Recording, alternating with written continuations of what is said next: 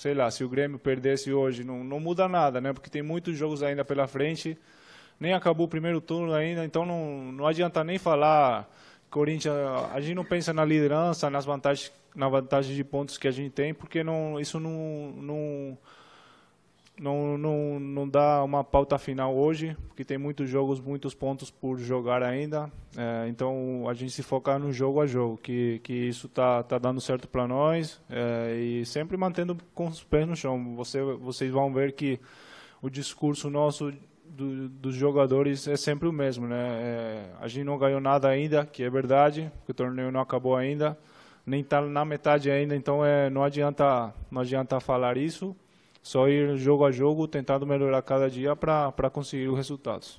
Queria que você falasse um pouquinho sobre o Pedro Henrique, que é um jogador ainda jovem. No ano passado ele teve algumas oportunidades, cometeu algumas falhas, chegou a ser cobrado pela torcida, contestado, enfim. E agora ele vai ter uma sequência, inevitavelmente, no time principal. Ontem foi bem. Você acha que ele está mais maduro, o, também esse sistema defensivo totalmente encaixado acaba ajudando para ele se firmar, ganhar confiança. Como é que você vê a evolução do Pedro Henrique? Bom, um, um cara que trabalha forte, sempre trabalha forte, né? É, ele vem, vem demonstrando que quando é, teve a oportunidade para jogar, não, não, desapontou, é, esteve à altura e não acontece só com ele, senão você viu o Giovanni também ontem fez um, um grande jogo, é, nosso elenco tem isso, né? Todo mundo tem esse compromisso para ajudar a equipe quando quando sentir necessidade de, de algum. Também é mérito do Fábio, né? Que passa as informações para todo mundo da mesma forma, independentemente de quem jogar ou não. E assim, quem não está jogando sabe quando na hora de entrar sabe o que tem que fazer para que o rendimento da equipe não caia. Isso que tem, vem acontecendo. A gente jogou muitos jogos com desfalques e o rendimento não mudou. A gente conseguiu bons resultados e o importante é isso, né? Que todo mundo esteja focado, o pessoal que não joga trabalhando forte como, como vem fazendo e isso eleva a competitividade também nossa para que todo mundo esteja num nível alto para na hora de, de tiver oportunidade de jogo fazer fazer um bom trabalho. Balbuena, boa tarde. Boa tarde. Gostaria que você comentasse para a gente, por favor. Ontem o Carilli disse que vocês têm a melhor última linha do campeonato. Ninguém faz essa última linha como o Corinthians. Gostaria que você comentasse sobre isso e também a participação de vocês no ataque. O Pedro Henrique falou um pouco antes aqui para a gente que vocês chegaram a comentar o lance do gol ontem contra o Fluminense. Vocês se falaram para fazer essa jogada. Os dois defensores, também o Giovanni Augusto e o Jô, armaram essa jogada que resultou no gol da vitória. Gostaria, por favor, que você comentasse essas, esses dois pontos. Bom, eu não sei se a nossa última linha é a melhor, mas é, os, a gente está conseguindo bons resultados defensivamente. A gente também, como defensores, não podemos nos dar o mérito só a nós, porque na hora de marcar todo mundo marca, né? Tem jogos que o Jô descia como lateral direito, em outros como lateral esquerdo para recuperar uma bola. O Romero, o Giovani, quem joga pelos lados estão cumprindo função e descendo até o final para marcar. Isso isso fala do compromisso que todo mundo tem quando quando a, equipe não tem a bola. É, acho que isso é mérito, de toda a equipe, não só dos defensores e o goleiro, né? Acho que é da equipe toda. E no lance ontem do gol, a gente sempre trabalha, né? A gente sabe da qualidade do Giovani para cobrar as, as faltas, os canteios. a gente sabia que a bola ia ca cair ali. Então, como no primeiro tempo nossa nossa jogada não estava dando certo, a gente acabou improvisando um pouco as, os movimentos que a gente normalmente faz. E graças a Deus no primeiro escanteio a gente conseguiu fazer o gol para conseguir a vantagem e terminar ganhando o jogo. Bom, Bueno, o Corinthians tem 40 pontos, ainda faltam três rodadas para o fim do primeiro turno. E o Corinthians tem a chance de concretizar a melhor campanha dos primeiros turnos, caso conquiste pelo menos mais quatro pontos nessas próximas três rodadas. Você falou agora há pouco que é, não seca adversário, isso ainda está muito longe, falta muito jogo ainda para terminar o campeonato. Mas de que maneira esses recordes que o Corinthians pode quebrar podem ajudar na campanha do líder Corinthians? Bom, a gente não pensa em números, não pensa em recordes para bater, sei lá. A gente pensa em mais jogo a jogo, tentando sempre é, fazer um bom trabalho, melhor, melhorar cada dia o nosso rendimento e seguir assim, né? Acho que a gente tá tá no caminho certo, é, continuar assim, com a mesma humildade, trabalhando forte, respeitando todos os, os rivais e seguir nessa mesma linha. Acho que a gente não tem por que mudar. É, como eu falei, é, essa questão de números é, é mais para vocês, da imprensa, né? Que a gente está mais focado no, no rendimento coletivo e, e, e, no, e nos jogos, indo jogo a jogo, né? Bobuena, quatro gols na temporada. Opa. Beleza? Não? Depois, se quiser pergunta, desliga aí. Dá um minuto, gente. Porra, Denis.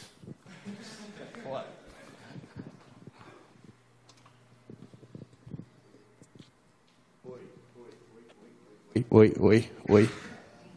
Esse tá melhor?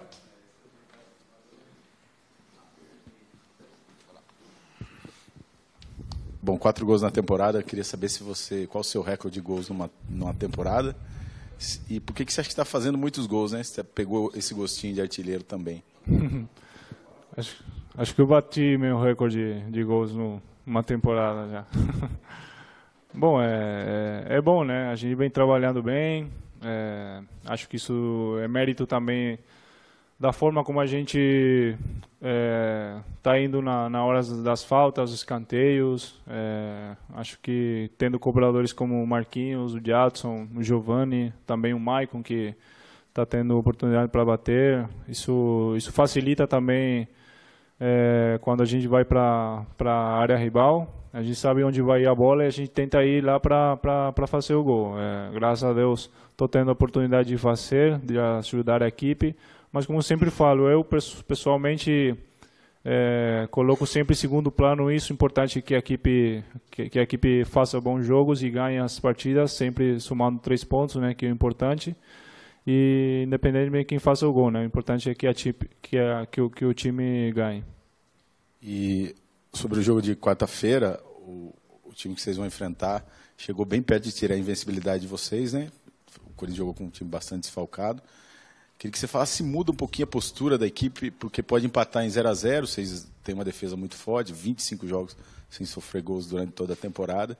Se isso ajuda e se a Copa Sul-Americana também é, corre paralelo em prioridade com, com o brasileiro ou vocês colocam uma na frente da outra?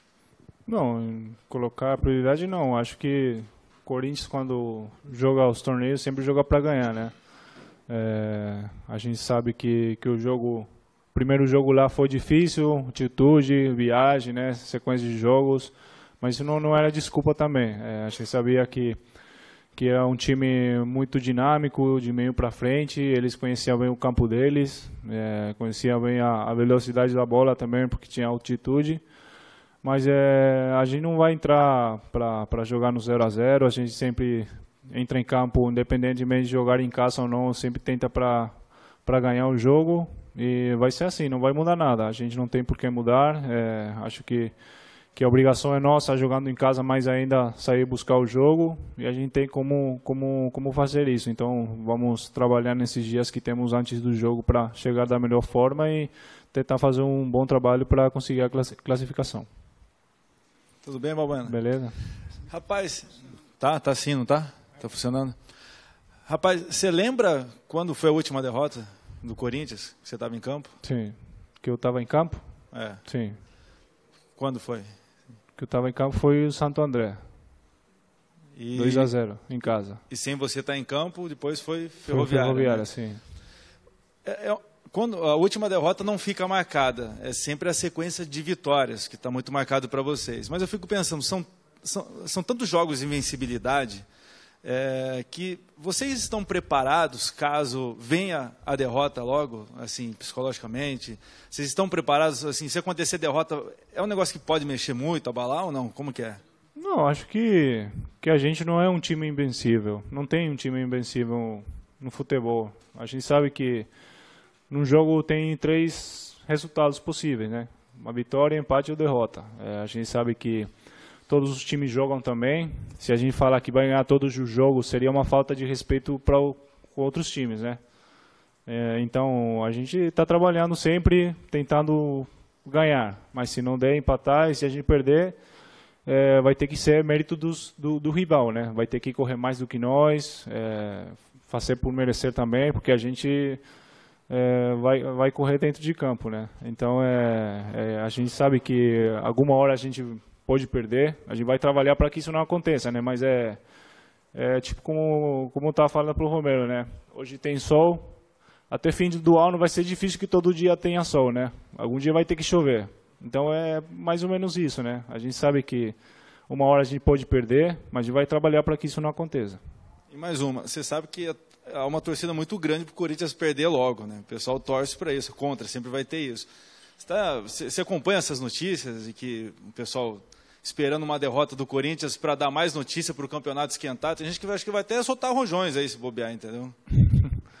Bom, isso é mais fica mais para fora de nós, né? Como eu falei no começo, a gente mais se foca no que acontece dentro, nos treinos, no dia a dia é, cuidando todos os detalhes para que todo mundo possa chegar bem no, no, dia do jogo e fazer um bom trabalho, que é o mais importante, né? E conseguir resultados, obviamente. Mas nosso foco está isso, é ir jogo a jogo, respeitando sempre cada time com quem a gente vai se enfrentar e, e seguir nessa, nesse caminho aí que está que tá dando certo.